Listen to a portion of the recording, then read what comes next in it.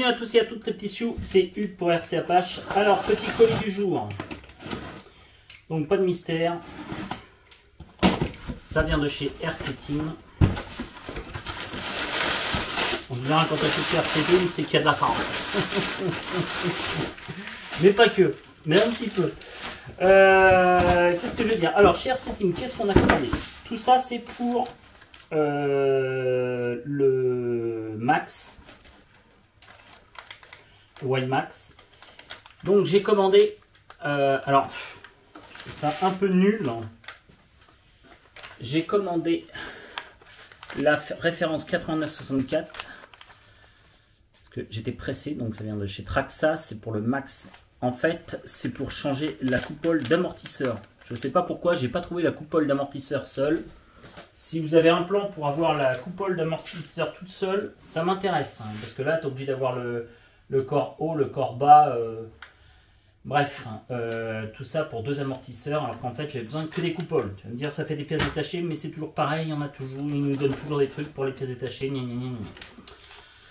Ensuite, j'ai racheté euh, la pièce TRX 8912, toujours pour le max. C'est pour protéger la carreau puisque j'avais dépouillé celle de l'original que je dois remonter parce que je veux qu'elle soit opérationnelle, ainsi que la cage. Au départ, j'avais dit que j'allais pas mettre la cage sur la coque euh, originale, mais tout compte fait, on va dire que t'as pas trop trop le choix. Euh, si tu veux faire tenir le toit et compagnie, c'est un peu la galère sans, donc pas le choix, je l'ai pris aussi.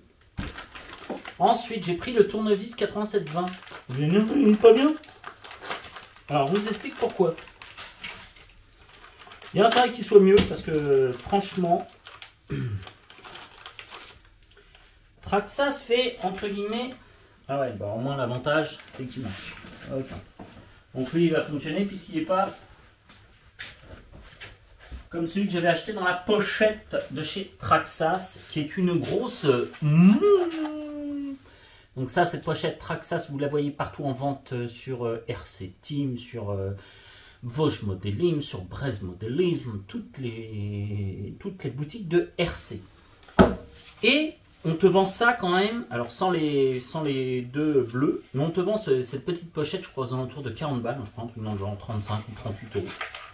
Avec ceci, avec ce manche de hum, qui est soi-disant, ouais, ça marche bien, tu peux le faire hein, entre guillemets euh, en cliquet.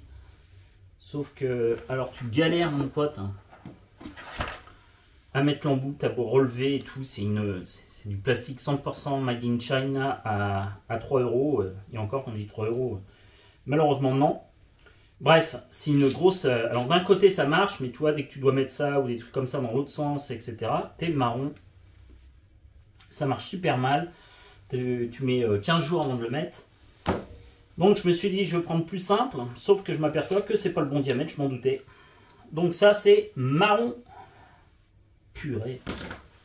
Et ça va même pas aller pour... Si, ça va quand même pour ça. Bon. Ok, ça va quand même pour ça. Et ben, je crois que je vais m'acheter tout un, un truc comme ça, c'est beaucoup plus simple. Bref.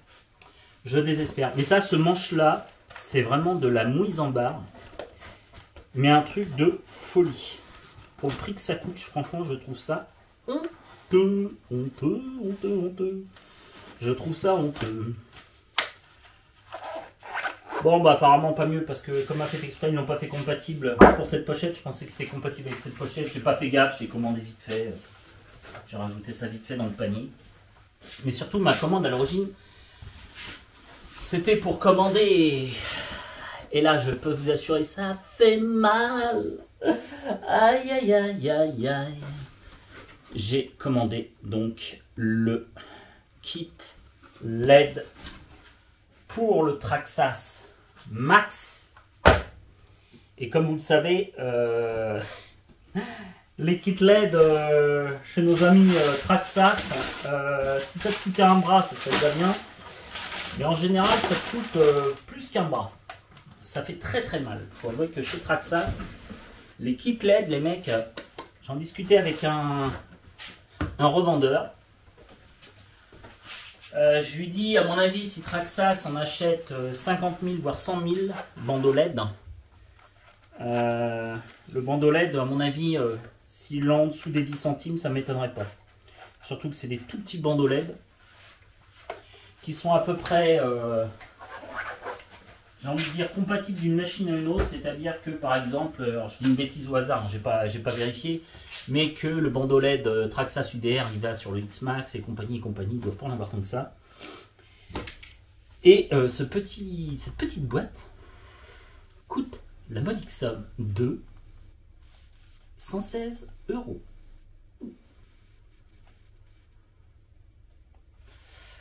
Ouh.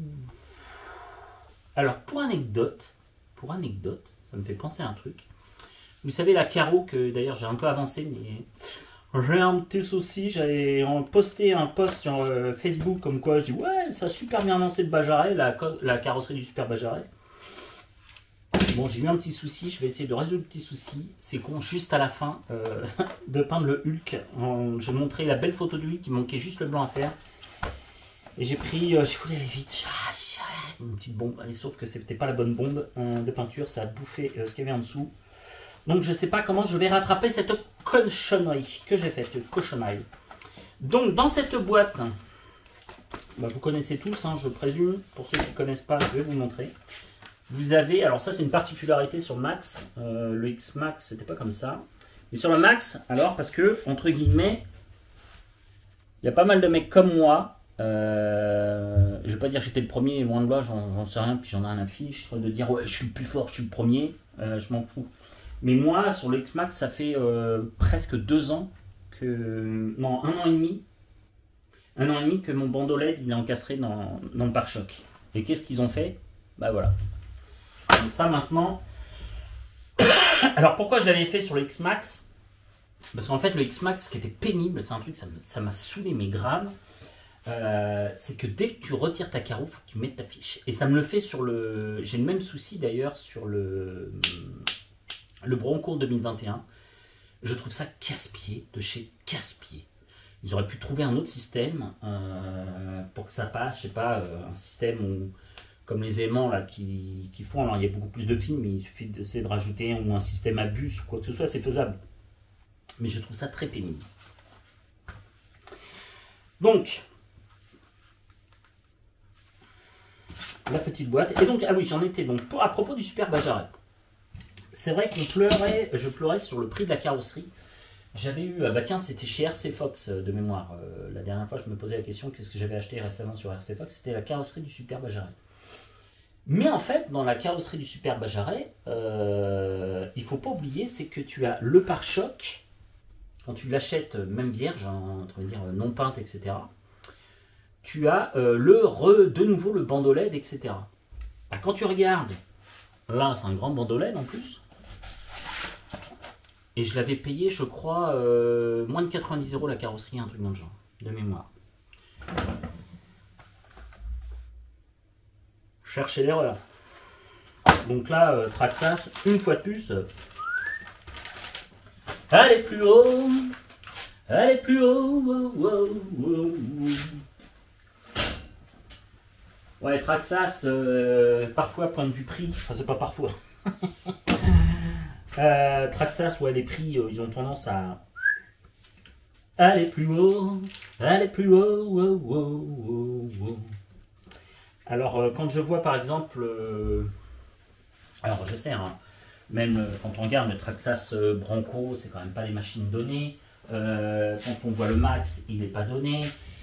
Euh, J'ai envie de dire, c'est à peu près une bonne voiture. Le X-Max, il n'est pas donné. Euh, mais il y a encore, ils ont encore quand même pas mal de choses à améliorer pour moi.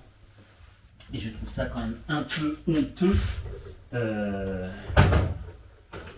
au prix où ils les vendent. Alors, mais bon, après, je ne discute pas trop. C'est vrai que Traxas, c'est de la qualité. Il faut, il faut le reconnaître. Mais euh, la qualité, euh, comme dirait l'autre, elle a un prix. hein, parce que je trouve ça vraiment hors de prix. Donc ici, eh ben, on a le petit pare-choc avant. Tu te demandes d'ailleurs pourquoi. Et non, il faut le changer. Déjà, ils sont un peu. Rien. Monsieur les ingénieurs de chez Traxas. Ça ça, c'est pour euh, récupérer en fait un stock, je pense, de Max version 1.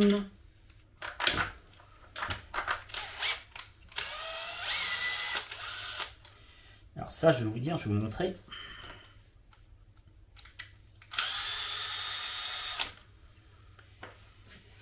Donc ils font comme Renault, hein, comme, euh, comme tous Fiat, groupe Volkswagen, BM, etc., etc., Audi et tout ce que vous voulez. Donc je vous explique. Ceci est le nouveau pare-choc du Max avec le bandeau LED intégré.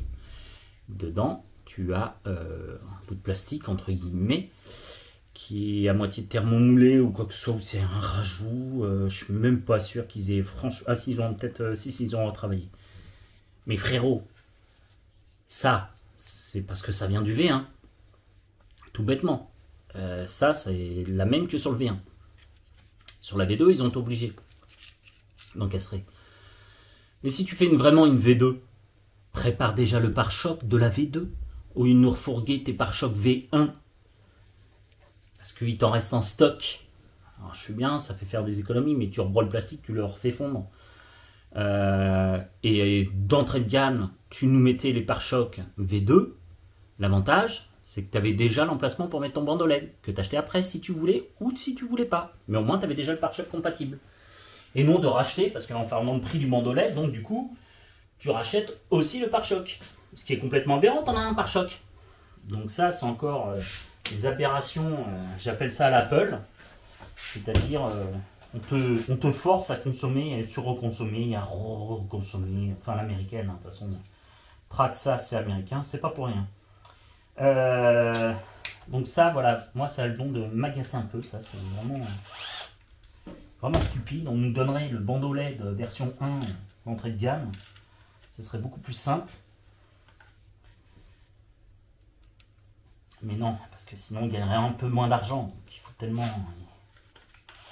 Il faut payer toutes les campagnes publicitaires où tu vois les pubs sur YouTube, où tu vois le max, waouh, il vole haut, il vole haut, et il retombe bien sur ses quatre roues. Et ces fusées, elles ont jamais rien dans la pub. Le mec, ouais, il maîtrise mieux que moi. Mais dans les pubs, faut pas me dire, faut pas, faut savoir que Traxas ou Arma ou Lossi et compagnie, quand tu vois la pub euh, publicitaire, enfin leur, euh, leur vidéo publicitaire euh, pour te faire acheter un Max, un X-Max, etc. euh, toi, c'est sûr, tu vas sur le terrain, dans ton terrain vague ou n'importe où, dans ta base jump ou n'importe où. Tu vas arriver avec ton véhicule, mais t'en as qu'un, quoi. Tu vas pas en avoir 50. Eux, ils s'en fichent, hein, ils prennent 10 max euh, 9. Euh, ils vont sur le terrain où ils ont prévu de faire euh, leur vidéo. Et eux, euh, même si ça casse, c'est pas grave. On garde au montage, on recoupe, etc. Et il n'y a pas de problème. Voilà. Donc c'est la petite différence entre vous et moi.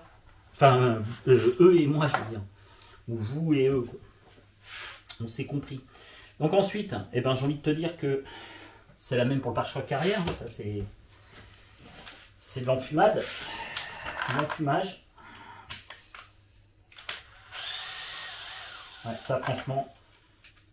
Alors vous allez me dire, ouais, mais bon, s'ils avaient trop de V1, euh, il fallait les remettre, etc. Je sais pas, déjà, tu commences à baisser ton stock quand tu vois que tu vas faire une version 2, déjà d'une. Et puis, euh, tu sais, hein, le PVC, hein, euh, ça, ça se recycle très bien. hein. Tu le remets dans une machine à broyer, tu refais chauffer, et c'est reparti. Ça s'appelle le cycle du plastique, mon ami. Bref, on va pas refaire le monde, mais c'est à l'américaine, quoi. On s'en fout, on gaspille, on s'en fout, il paye. Le client paye, il racle, il racle, il racle. Et à la limite, j'ai envie de dire, ils ont pas tort, on le fait d'ailleurs. Ça fait comme ça, tout le monde râle. Ouais, le bandeau LED, faut pas l'acheter, t'es taré, t'es taré. Ouais, il y en a beaucoup qui l'achètent.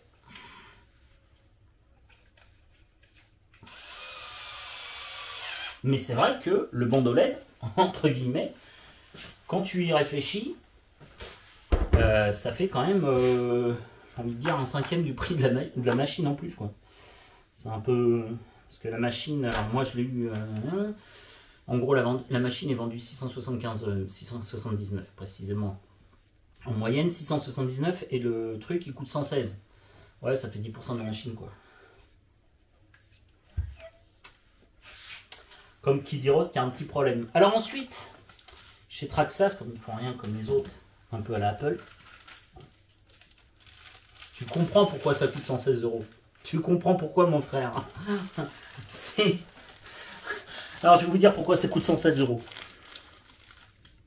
Waouh Eh, il donne pas un petit collier. Il donne pas deux petits colliers. Il donne pas trois petits colliers.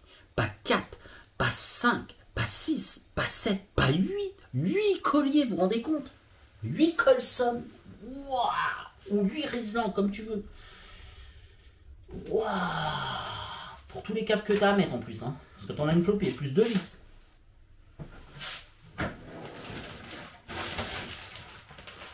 Ils veulent la guerre des collerines, il n'y a pas de problème, on peut jouer à la guerre. hein. Ah là là, je vous assure. Mais bon, j'en avais envie. Pour moi, c'est un peu dommage d'avoir une jolie bécane et pas voir euh, les LED dessus. Je trouve ça assez sympa. Alors tu vas me dire en plus je fais même pas de session de nuit. Ça sert pas à grand chose, mais j'aime bien. C'est juste beau. Moi j'aime bien quand c'est beau. C'est beau, c'est joli, j'aime bien. Alors, tu as le choix pour mettre ton bandeau LED. Soit tu le mets à l'avant ici, soit tu le mets à l'arrière ici. C'est comme tu veux, tu choisis. Sauf que Hugues, il va être intelligent avant de te dire une grosse bêtise. Il va regarder que non. Bah, a priori, Hugues, t'as dit une bêtise. Tu le mets à l'arrière. Si tu le poses à l'avant, t'es trop court, mon frère. Donc tu le poses à l'arrière. M'apprendre à dire des conneries. Euh, voilà. Donc ça, tu poses.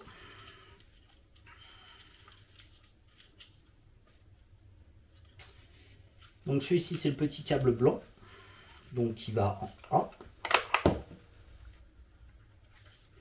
Ah, attends, parce que j'ai les vis. On va d'abord mettre euh, l'amplificateur, là, je sais plus comment ils appellent ça, le, high, high, high voltage, attention.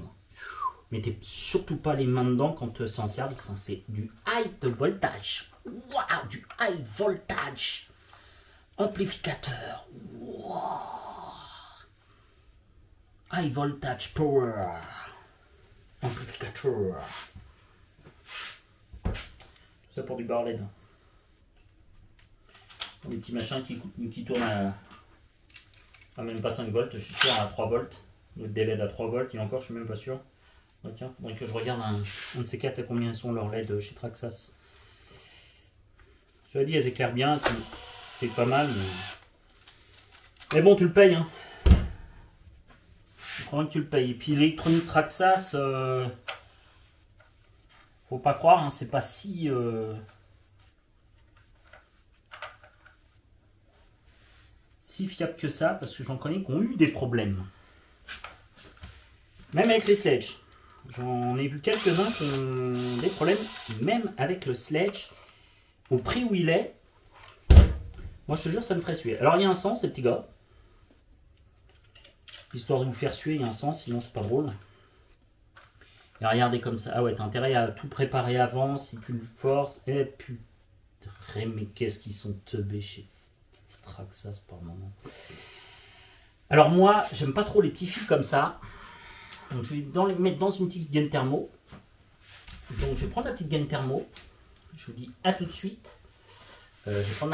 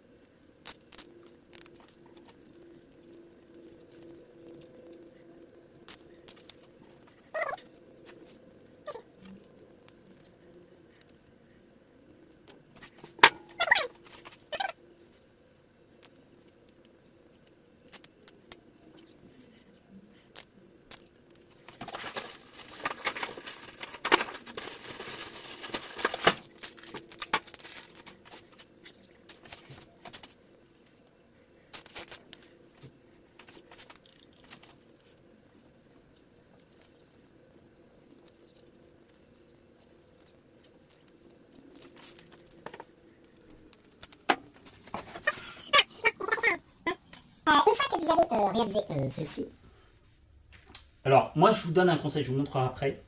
Donc, après, le, le cordon euh, du High Voltage Power Amplifier, il faut donc le raccorder sur la prise de l'ESC.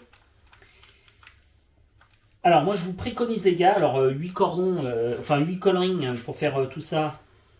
Euh, je vous raconte pas, euh, j'en ai mis presque 8 euh, pour l'avant, rien que pour le cap d'avant. Ces idiots, bien pensés, mais parce que c'est du multi machin, euh, ça va sur plusieurs véhicules. euh, C'est-à-dire que les prises les plus proches de l'arrière vont ici sur le connecteur qui est devant. Les prises, euh, enfin c'est pareil, je me suis compris, le pare-choc avant vont sur le plus loin, ce qui est très logique, entre guillemets. Alors moi ce que je vous donne comme conseil aussi, c'est de protéger vos câbles, protéger vos gammes dans ces types de gaines. Beaucoup me demandent où je les trouve, euh, tout bêtement euh, sur le plus grand site euh, marchand qu'il y a au monde en ligne, Amazon hein, pour pas le nommer. Et donc on va choper le cache connecteur de chez Traxas. Donc on le démonte, je me prends pas la tête. Quoique si un peu quand même.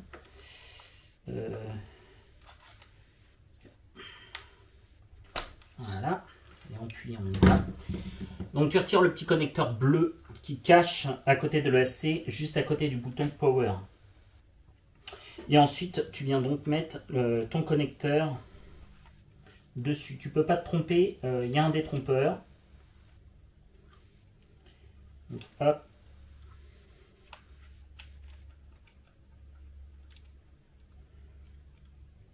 Mets tes lunettes si tu en as besoin.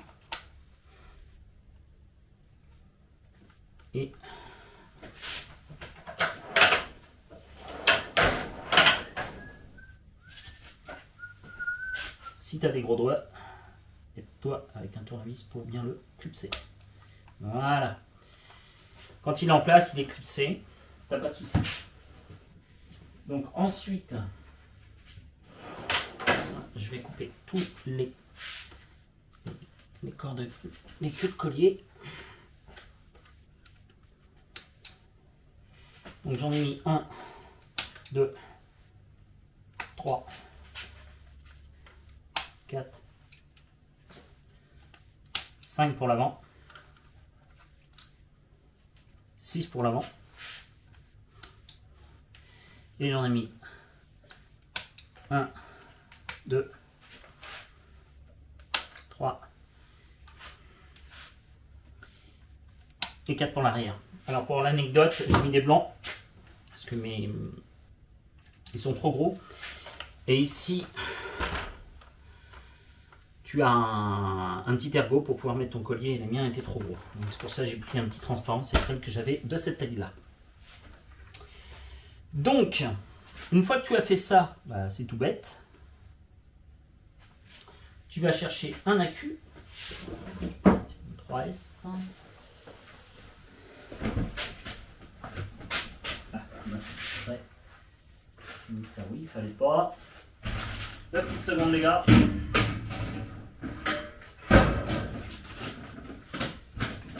Alors, la grosse boîte à 4S, elle est là. Alors, 4S chez Traxxas. On peut prendre du 5000, ça suffit large.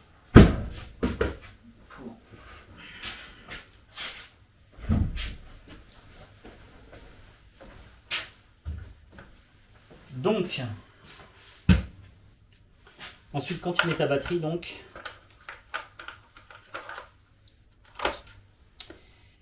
hop, tu connectes la batterie. Ah oui, avant de mettre la batterie, je voulais vous montrer quand même. Donc regardez quand même ce que ça donne, quand même. Moi, ce que je vous conseille, c'est de mettre euh, vos câbles. euh, Moi, je l'ai fait même pour le Bronco. Parce que c'est des câbles très très fins, euh, j'ai envie presque vous dire aussi fins qu'un cheveu. Et vu les gamelles, les chutes qu'on se prend, la, la... laissez du flex aussi, ne tendez pas trop. Parce que je sais que j'ai tendance déjà moi à trop tendre. Mais il faut qu'il y ait du flex pour que, en cas de choc, pour pas que ça, hum, votre câble soit trop tendu et qu'en cas de pliage de la carrosserie, travail de, de la, du châssis, je veux dire, que votre fil pète. Donc laissez un peu de mou un peu partout. Donc moi j'ai laissé du mou, là pour une fois j'ai fait les choses bien. Et, euh, et puis voilà, puis après vous branchez. Donc pour l'anecdote, le feu à l'avant se branche sur le connecteur A, les deux à l'arrière, C et D qui sont euh, donc les connecteurs arrière. Ensuite, on allume toujours la radio, même si entre guillemets on va s'en servir. Hop, je connecte, j'allume et logiquement, logiquement, ça devrait marcher. Ah oui, mais il faut l'activer. Euh, donc, soit tu appuies sur le petit euh, bouton.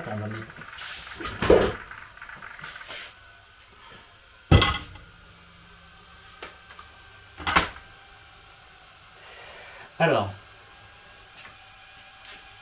tu as le petit bouton que tu appuies dessus pour allumer tes LED. Donc à ce moment-là, ça te met, je crois, en mode jour. Ou quelque chose comme ça. Donc tu as juste les LED à l'avant et les LED rouges à l'arrière. Si tu appuies dessus, tu as la haute intensité. D'accord? Si tu appuies dessus, ça s'éteint. D'accord? Tout ça, tu peux l'avoir. Évidemment, c'est l'attrait chez Traxas sur leur application. Alors, euh, sauf que mon téléphone sert d'écran. Sur l'application euh, Traxas, euh, avec le, le module Bluetooth e-Link, d'accord Que tu cliques donc sur ta télécommande. Alors, avantage et inconvénient. inconvénient, il n'y en a pas, sauf si, ouais, c'est sûr, si tu es tout le temps, en fait, tu as le support de téléphone, tu le clips, tu tu le clips, etc. Donc tu pilotes comme ça, et c'est vrai que tu as l'écran du téléphone. Ça t'alourdit un peu la poignée, je suis tout à fait d'accord. Euh, pour le crawler, c'est bien, quoique, euh, moi j'ai un souci. D'ailleurs, s'il y en a un qui a la solution, parce que je ne l'ai pas trouvé pour l'instant, je n'arrive pas à trouver la solution. Sur le Bronco, j'ai euh, toute la télémétrie qui fonctionne. Le seul truc qui ne fonctionne pas dans la... Il y a deux problèmes sur la télémétrie. Sur ma télémétrie du Bronco, la tension, j'arrive pas à l'avoir. Alors qu'il y a bien le connecteur, je rentre bien les paramètres, mais ça marche pas. Et le deuxième problème que j'ai, alors c'est l'attrait d'avoir la télémétrie quand tu as un bronco, euh, c'est d'avoir l'assiette. Mon assiette, euh, même euh, l'ARC sur une surface 100% plane sur une table ou par terre sur le carrelage, tu as toujours, elle est toujours en verre de environ, je crois, 28, 28 degrés. Et j'arrive pas, j'arrive pas du tout. Or, quand tu la bouges, tu peux bien, tu vois que l'assiette bouge, mais par contre, par défaut, elle a 38 degrés, je ne comprends pas le problème. Et j'arrive pas à résoudre ce problème. Euh, je pense que je dois avoir un problème avec mon ESC. Et voilà. Donc, voilà les amis, on a donc nos jolies lumières. Moi, j'aime beaucoup. Hein. Franchement, je trouve ça assez sympa. Euh, quand tu freines, évidemment, euh, enfin, quand tu recules, évidemment, quand tu freines déjà, la luminosité de puissance qui s'affiche, donc tu vois que tu freines, et quand tu recules, évidemment, la barre euh, blanche, je vais te montrer. Donc, là, j'avance, je freine, et je recule. Ça, c'est un classique hein, chez Praxas, ça marche toujours comme ça, donc j'accélère, je freine, je relâche les freins, je passe en marche arrière. Alors pour les débutants, je sais qu'il y a tout le monde, euh, tout le monde, pas tout en RC. Euh, chez Traxas, c'est sur quasiment la, plupart de tous les modèles.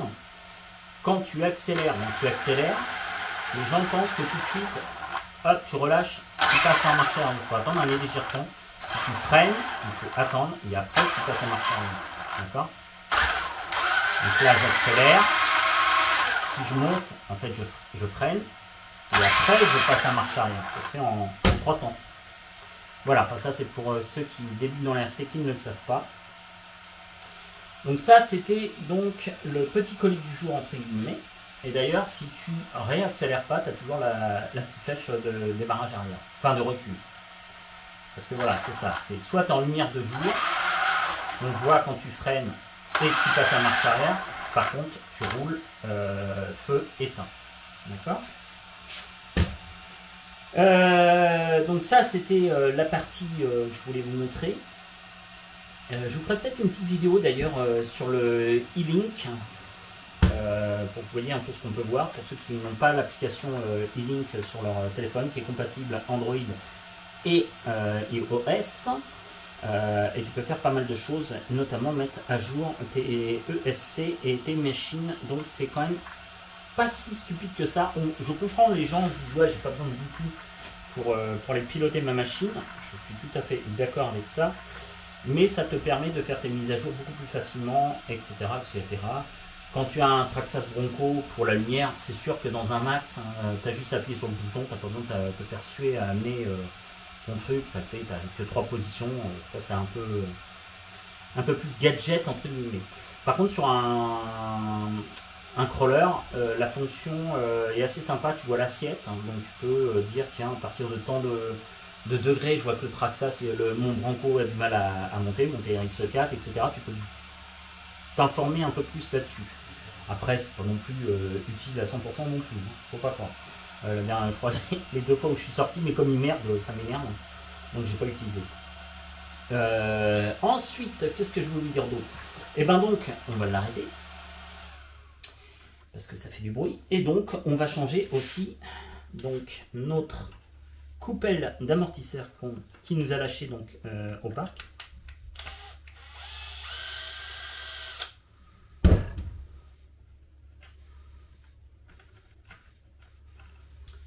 Comme dirait l'autre, elle avait bien pété, il reste quasiment plus rien. Donc le truc un peu bête, alors euh, si vous, vous avez réussi à trouver où est-ce qu'on avait... Euh, euh, où est-ce que vous avez trouvé uniquement les coupelles Moi honnêtement, j'ai pas trouvé. Alors attendez, je l'ai mis où le... J'ai pas trouvé la référence seule, où il n'y a que les coupelles. J'ai trouvé uniquement le kit de réparation on prend un kit de réparation pour deux amortisseurs. Donc euh, le bouchon du haut, le bouchon du bas, et euh, enfin non, le bouchon du haut, la coupelle et le, la vis en plastique. Donc alors, c'est pas très très cher, hein, c'est pas le problème, mais je trouve ça un peu stupide. Chaque fois, on est obligé d'acheter plein de trucs. Euh, pour juste une coupelle. Euh, alors moi, ça m'est arrivé, donc une fois, je vous dis, ça a été sur la DBXL. Euh, pareil, je crois que j'avais dû prendre un lot parce que c'était moins cher en lot. Et tout compte fait, je ne les ai jamais rechangés. Donc, je me trouve avec un lot de coupelles de DBXL. Donc, tu vas me dire, ça peut m'arriver. Mais je dois avoir au moins 8, 8, 8, 8 trucs comme ça pour la DBXL. Et euh, bah, je trouve ça un peu stupide, vu que j'en ai pas eu l'utilité. Mais bon, je peux peut-être en avoir besoin un jour. Alors,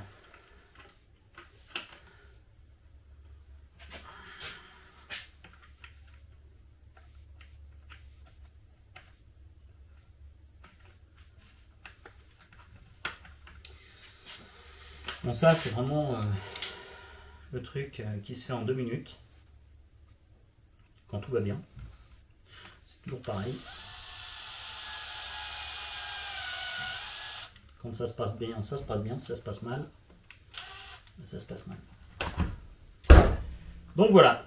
Donc là, euh, mon max est de nouveau prêt à rouler. Coupole euh, d'amortisseur changé. Je suis un peu. Euh, j'hésite à mettre une plaque euh, pour les protéger parce que je sens que elles sont vraiment pas costauds et je sens que ça va pas tarder à arriver.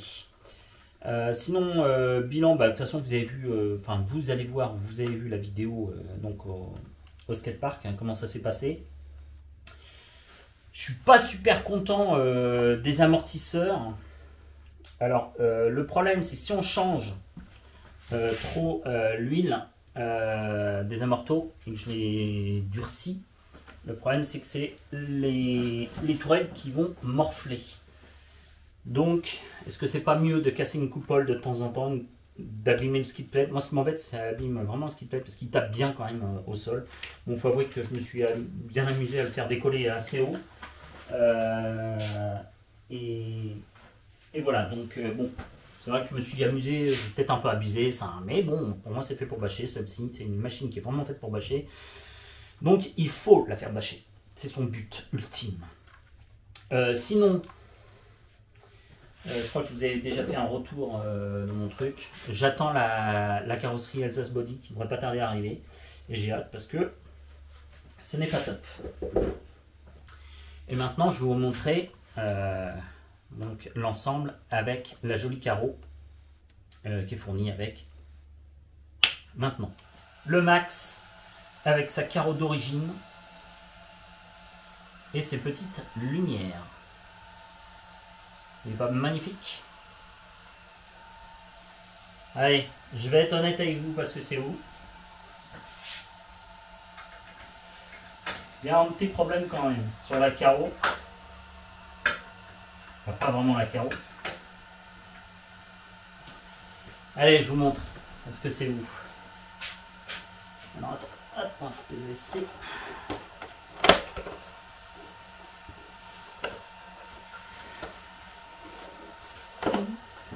Si je trouve le bouton qui est là. Alors, j'ai un petit problème quand même avec la carreau. Enfin, pas la carreau. Avec l'arceau que j'ai acheté. Merci RC Team.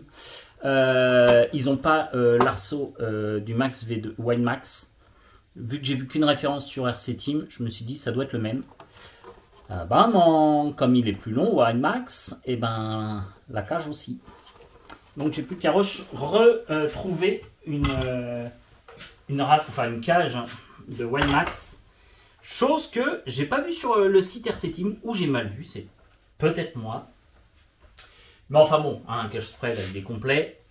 juste à modifier l'arceau euh, qui est donc plus court. Et on voit il est plus court de ouais, 2 cm. Donc la carreau d'origine max est bien plus petite de 2 cm. Donc ça c'est l'arceau. Tout le reste est compatible, sauf l'arceau. C'est moche, c'est moche. Et j'ai pas vu euh, spécialement un arceau One Max. Alors c'est peut-être moi qui ai fait la bourde, c'est possible que je n'ai pas vu. Ça, je le conteste pas. Bref, donc voilà euh, le max ça, avec sa jolie carreau. Il va me dire juste pour mettre sur l'étagère, je ne sais même pas si je vais racheter le max parce que celle-ci restera uniquement sur l'étagère. Petit truc qui m'est arrivé les amis. J'ai fait une bêtise il n'y a pas longtemps avec une Lipo 6S.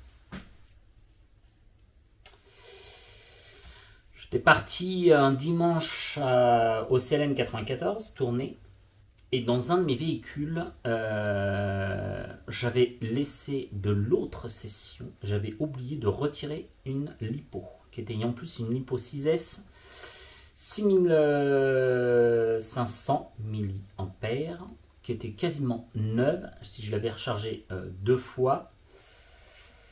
Sauf que entre les deux sessions CLM 94, je crois que je l'avais laissé dans, dans, peut-être bien la Serpent ou, euh, ou dans la dans la King Motors. Je crois que c'était peut-être King Motors d'ailleurs.